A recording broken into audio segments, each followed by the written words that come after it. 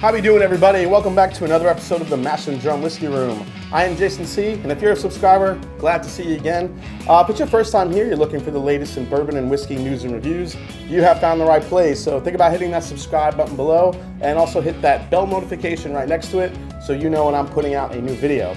Today, we have one of the most legendary bottles in bourbon lore. It's Elmer T. Lee from Buffalo Trace. Let's get into it.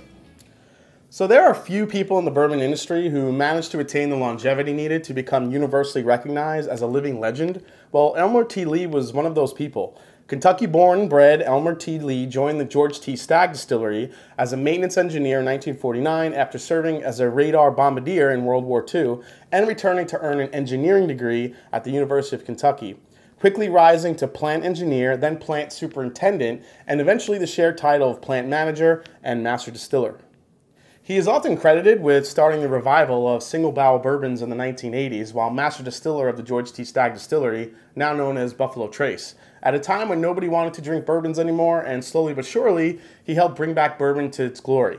Now, even after his retirement in 1985, he still visited the distillery weekly to select the barrels that would be bottled for his self named Elmer T. Lee bourbon. He continued that practice until his passing in 2013 at the age of 93. So, really, if you think about it, buying a bottle of his bourbon meant consumers were getting bottled bourbon personally selected by one of the greatest names in the bourbon world, which adds to the lore of this bottle. His passing led to a bit of a rush in demand on the Elmer T. Lee bottle, as expected. And after all, it was an affordable bourbon at the time, and there was concern that without Elmer to choose the barrels, either the distiller would cease production or the flavor profile would change. So that demand for this bourbon still exists today, and it's become rare in many parts for Elmer T. Lee bourbon to actually find its way to shelves. In today's crazy world of bourbon, you will normally only find Elmer T. Lee relegated to the back room of a liquor store, highly allocated, part of state or store lotteries, and available only on the secondary market. Now today I wanted to revisit this single barrel bourbon that I haven't tasted in a long time and see if the demand and rarity is justified by the flavor of this legendary bourbon. So the bourbon itself is 90 proof and shares its mash recipe with others like Blanton's, Rock Hill Farms, Ancient Age, and Hancock's Reserve, being Buffalo Trace's high rye mash bill, which is said to be about 12 to 15% rye. Now, still on the low scale for what's considered a high rye mash bill these days. Now, it's not age stated, but it's believed to fall anywhere between 8 to 14 years old. This is a single barrel bourbon, and like most single barrels, mine may necessarily taste different from yours or the next person's. All right, guys, so as you can see here, here's a close-up of the bottle of Elmer T. Lee. Um, one of my favorite things is that when you look through the back of the bottle, you could see the portrait of the legendary Elmer T. Lee kind of uh, as a silhouette in the background. It's one of my favorite parts of the bottle. Now, I haven't had this bottle in a really long time. I haven't had a, pour of this. Uh, I was lucky enough to get a bottle. Um, this is, as I mentioned, MSRP is about 35 to 40 bucks. But as I mentioned, it's extremely allocated, difficult to find. Um, it's often between 8 to 14 years old and from Buffalo Trace. So let's get a pour. Pop this open. Nice pop.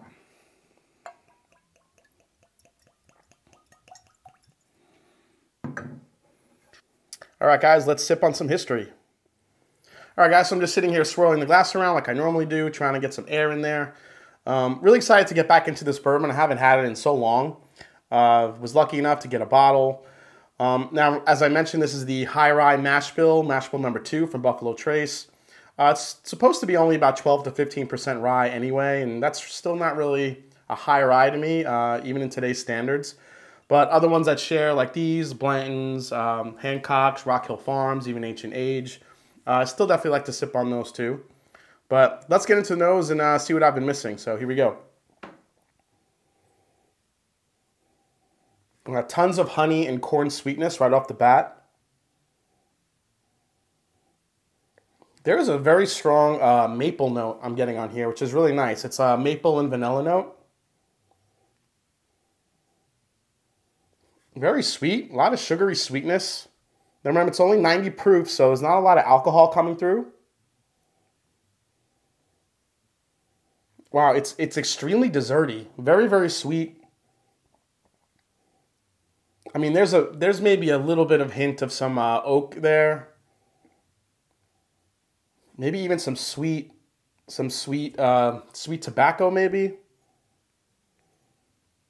Yeah, very uh, extremely sweet on the nose. Let me get really in there and see what we get. Yeah, there's a little bit of some spiciness in there from the rye, but you have to really kind of dig down to get it. When you dig down, then it's when you start getting those citrusy notes from the uh, from the rye. A little bit of a uh, mintiness there, but really it's kind of overpowered by that sugary sweetness, the corn. There's there's definitely a maple syrup character going on in there. Definitely a little bit of the oak. It's a really nice nose, very inviting. All right, let's check the color real quick. So the color is uh, actually a darker than I thought it would be. A really nice darker honey color. Sticking to the glass very nicely, being only 90 proof. Really nice color on the glass. All right, guys, so let's go in for the first taste. Here we go. Cheers.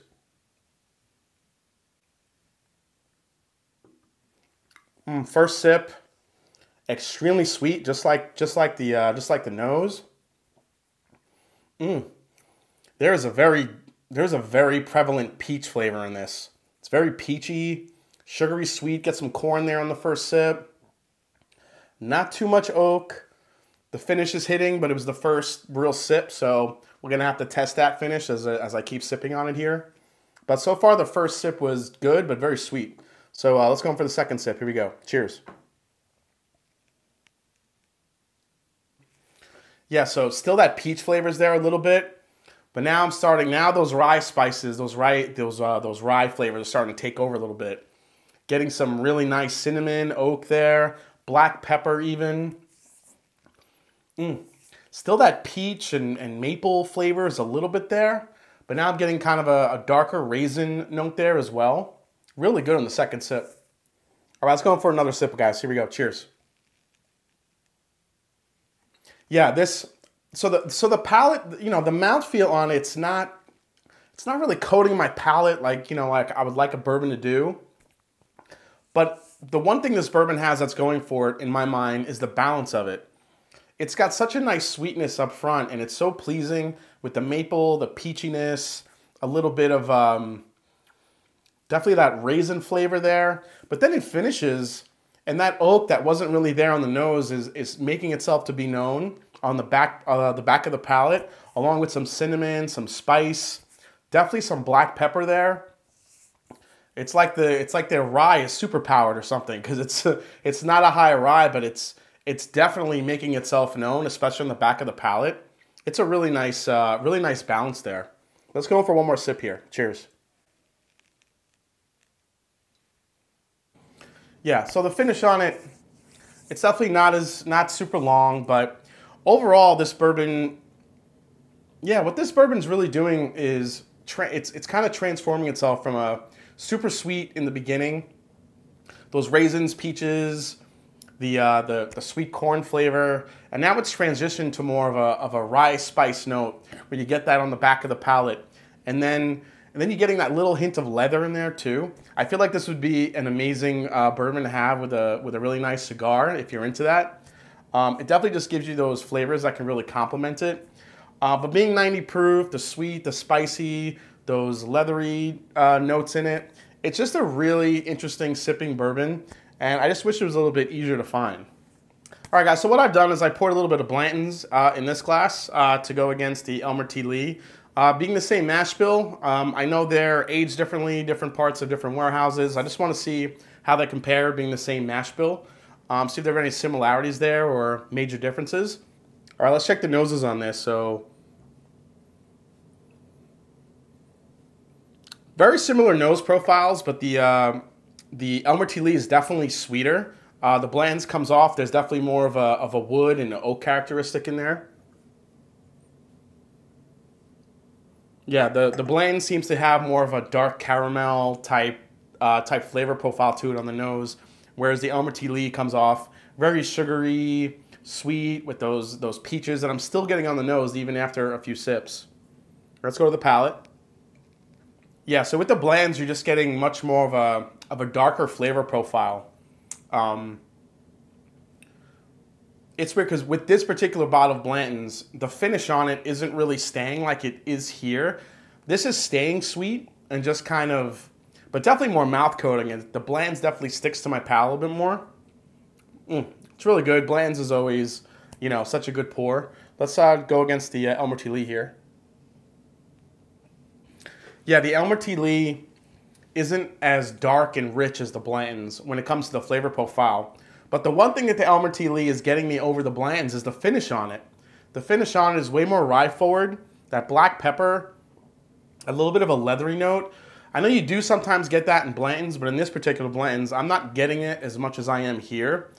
Let's go for one more quick sip on each. Yeah, the Blanton's, the Bland's is definitely coming off as a darker sweetness, brown sugars, caramels. You're getting the rye spice there. Now I'm getting on the second sip, but it's still not as prevalent as I'm getting in this one. Let's go to Elmer T. Lee a little bit here. Oh, and the finish is not the finish is longer on the Bland's, I must say. I mean, I know the Bland's a little bit higher of proof. This one comes in at 93 proof. It's only three points higher but it's really making itself known that on the finish a little bit. Let's go to the uh, Elmer T. Lee here. Yeah, it's crazy. Maybe because the Elmer T. Lee is so much sweeter up front that the finish on it is coming up more as a, as a punch. But that black pepper and rye spice that you're getting, a little bit of a citrus note, that leathery kind of finish. It's definitely a little bit more drying too on the, uh, on the palate, on the back end, but really good. All right, guys, so in conclusion, I mean, while lower in proof than most single barrels, this bourbon still provides a lot of good flavor, especially considering it's been sitting in wood for anywhere from 8 to 12 years. As far as single barrels go, this is a really nice, easy sipping bourbon. I really don't think the flavor profile will blow you away like other single barrels, like maybe a Knob Creek single barrel or even some of the Henry McKenna bottles. But overall, still delivers a very well balanced experience, one that kind of changes over time that actually impressed me more than anything. Uh, I can tell you, if this bourbon was still available for about 35 to $40, it would be an absolute steal compared to the other 8 to 10 year old bottles that hit the market at over 100 bucks. Unfortunately, that's just not the reality. So the best advice I could give you guys is that this is not worth, to me, in my opinion, it's not worth the 120 to 160 dollars that I see for it on the secondary market. Um, a lot will pay for this based on the rarity and just wanting to own a bottle of this, and I do get that. But if you're like me and would love to drink a bottle of this bourbon and share it amongst some friends and family, then there are others out there that are way easier to find and give a more robust sipping experience. All right, guys. Well, thanks again for watching the Mash and Drum Whiskey Room. I really appreciate you coming by and watching this review for Elmer T. Lee Single Barrel Bourbon from Buffalo Trace. Hope you enjoyed it. Uh, if you haven't yet, please hit the subscribe button below. Please hit that like button. Uh, if you haven't yet, please find me on Instagram and you can also find me on Twitter. Let me know what you think of this if you've had it before. And like I always say, it is not about the whiskey, it is the people you share it with. So cheers, everyone, and I will see you next time.